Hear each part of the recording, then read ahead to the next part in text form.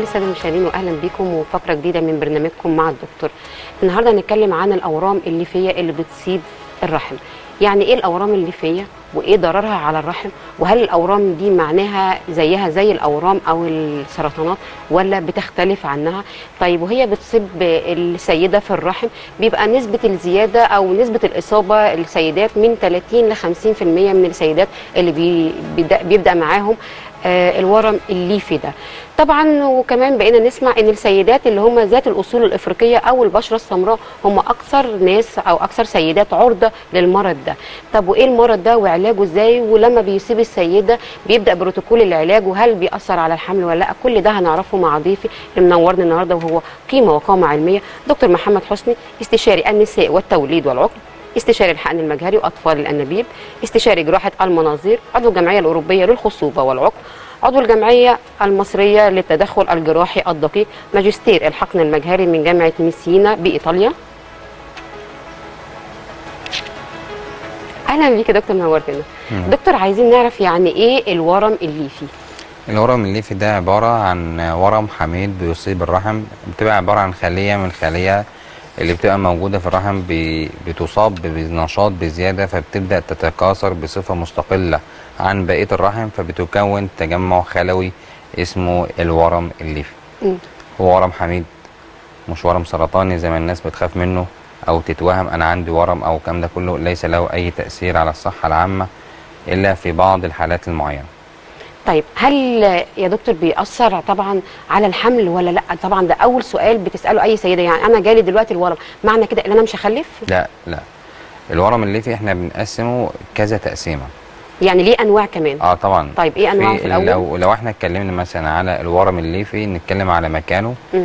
المكان اللي موجود في الرحم من بره اللي هو اللي هو subserous اللي هو الرحم موجود اهو وموجود في التجويف الخارجي للرحم. الجزء الخارجي للرحم. وفي الورم الليفي اللي بيبقى موجود في الجدار الرحم نفسه اللي هو ال interstitial. وفي اللي هو الأخطر واللي بيتعمل له حساب اللي هو موجود في تجويف الرحم من جوه. الورم الليفي اللي موجود ده ده بصفة مستقلة بذاته بذاته اللي هو الورم اللي موجود جوه التجويف. م. اللي بره اللي موجود اللي هو في خارج جدار الرحم. آه اللي موجود في جدار الرحم أو موجود بره الرحم. آه ملوش أي تأثير على حدوث الحمل إلا إذا كان الورم الليفي أكتر من 5 سم. سواء ورم واحد أكتر من 5 سم أو سواء عدة أورام ليفية المجموع الكلي ليها أكتر من 5 سم. لكن لو الورم الليفي موجود جوه تجويف الرحم لو حجمه ربع ملي لازم ينشال لأن حضرتك بتأثري على الغرفة اللي بيحدث جواها الحمل م. وده بيبقى عبارة وجود الورم الليفي في المنطقة دي بيأثر على الدورة الدموية بتاعة بطانة الرحم وبالتالي فيؤثر على حدوث الحمل ولو حصل حمل والورم الليفي موجود في تجويف الرحم وموجود مثلا في الثلث الفوقاني من الرحم بيخلي السيدة أكثر عرضة للإجهاض في أول ثلاث شهور. أو في أحسن الظروف للطلق المبكر. فده بيأثر على حدوث الحمل أيوه يأثر. لو حجمه بره الرحم أكتر من 5 سم ولو موجود جوه تجويف الرحم باي حجم من الأحجام. طيب هل ليه أسباب على وجود ال- الورم ده؟ لا، أنا بكون أسباب. عامل يعني أنا كمان ما بأثرش عليه لا، من لا. أكل من نظام من أي حاجة. لا لا لا لا خالص. لا ما فيش أي سبب لأسباب وجود الأورام الليفيه فخالص. حتى العامل الوراثي ده يكاد يكون حاجة بسيطة جدا. طب وإزاي بيتم اكتشافه؟ لا يتم اكتشافه إلا بالأشعة التلفزيونية المهبلية اللي بتشوف الرحم أخباره إيه ده وفي بعض الأحيان القليلة اللي هي الأورام الصغيرة جدا اللي الجهاز السونار العادي اللي هو أو الثلاثي اللي بعد ما بينهاش بيبان بالأشعة ربع اللي هو الرنين على الحوض. وده الأحجام دي لا ما, ما تهمناش في شيء. لكن هو يتم اكتشافه فقط بالأشعة المهبلية العادية اللي هي 2 دي أو الأشعة ثلاثيه الابعاد طب هل ليه أعراض يا دكتور ممكن السيدة أو البنت تشوفها؟ آه آه في طبعا. في رقم okay. واحد اللي هو النزيف المهبلي ده رقم واحد. أو الألام اللي بتيجي أثناء نزول الدورة الشهرية. مم. أو اللي سيده بتشتكي من ألام في الحوض طول فترة الشهر. بغض النظر عن حدوث الحمل أو عدمه. طب إيه هي آليات التعامل معاه والبروتوكول العلاج الطبي أول ما بشوف إن في ورم في الرحم؟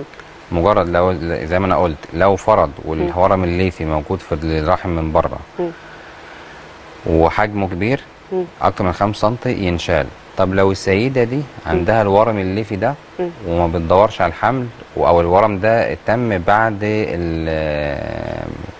بعد ما كملت الأسرة بتاعتها عندها طفلين أو ثلاثة ومش عايزة تحمل طول ما الورم ده مش عامل لها مشاكل ايا كان حجمه. ما نتدخلش في آه، استئصال الورم الليفي.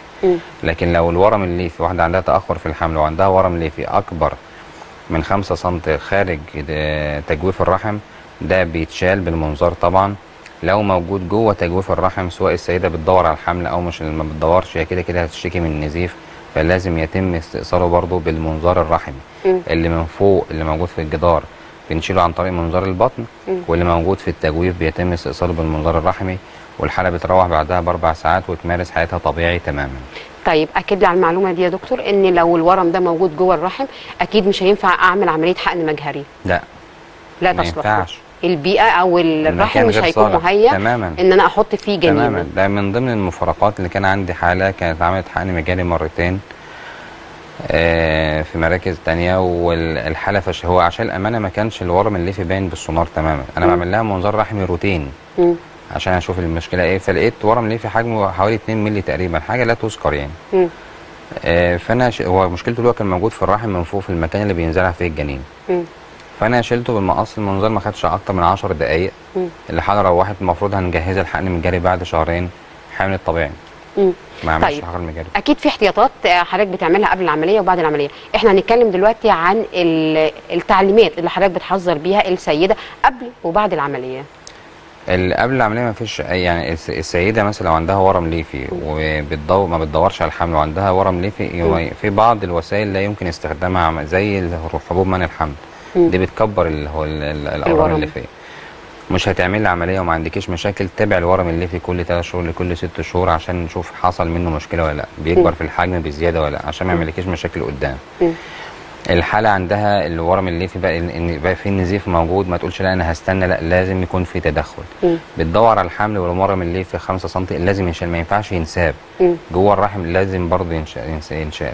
بعد ال- استئصال الورم الليفي بالمنظار طبعا أنا معظم عمليات اللي بالمنظار. حوالي 90% من الحالات عندي. الا الحالات الكبيرة اللي هو الورم الليفي اللي هو مثلا هتلاقي فيه 15 سم و20 سم ده ما ينفعش بالمنظار يبقى لازم جراحة مم. الحالات اللي زي دي ما مجرد ما تشيل الورم خلاص تعيش حياتها طبيعي جدا ما فيش منه أي مشاكل آه، ورم حميد وتم استئصاله طيب لو السيدة دي عملت عملية حقن مجهري يا دكتور والطبيب ما أخدش باله إن في ورم الورم ده كان هنقول صغير شوية ما كانش ظاهر وحصل الحمل وبدأ الطفل يكبر في بطنها وبدأ الورم يكبر بيبدأ الطبيب بيبدا ياخد خطوات إيه هل يستغنى عن ال- الجنين لا، لا، ولا لا. يتعامل إزاي مع الورم لو الورم موجود بره الجدار الرحم هو كده سواء الورم موجود جوه أو بره مع الوقت هيبدأ يكبر مع حدوث الحمل مم. هو خلاص الحمل حصل مم. وإحنا مش هنقول لأ ما ينفعش مش هيكمل أو نقفل الباب لأ مم. إحنا بندي علاج مم.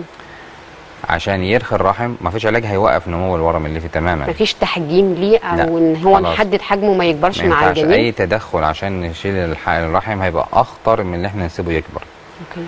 فاللي إحنا بنعمله ان إحنا بنسيب الورم ونتابع السيدة. وندي علاج معين اللي هو المثبتات بزيادة عشان الحمل يستمر أول ثلاث شهور وبعد كده نكمل على علاج معين عشان يرخي الرحم عشان يدي مجال إن الطفل يكبر والدورة الدموية بتاعته ما تتأثرش. أثناء الولادة طبعا لازم يكون في حجز دم يعني السيده تكون حاجزه كيسين أو ثلاثة دم لأن السيدة تبقى أكثر عرضة للنزيف. أثناء الولادة طبعا استئصال الورم أثناء أثناء القيصرية أو أثناء الولادة طبعا ده ما نقدرش ناخد فيه قرار إلا حسب حجم الورم اللي فيه وحسب مكانه يتم استئصاله أو لا. لكن ما ينفعش نقول إن إحنا الرحم الحمل هينزل. لا نكمل ونحاول نتغاضى عن الورم اللي فيه. وطبعا أكيد إرادة ربنا هتكون أعلى من كل شيء. شكرا ليك يا دكتور نورتنا. بشكر ضيفي منورني دكتور محمد حسني استشاري النساء والتوليد والعقم استشاري الحقن المجال وأطفال الأنابيب استشاري جراحة المناظير. شكرا ليك يا دكتور نورتنا. وبشكر كل السادة المشاهدين وانتظروا كل جديد في برنامجكم مع الدكتور.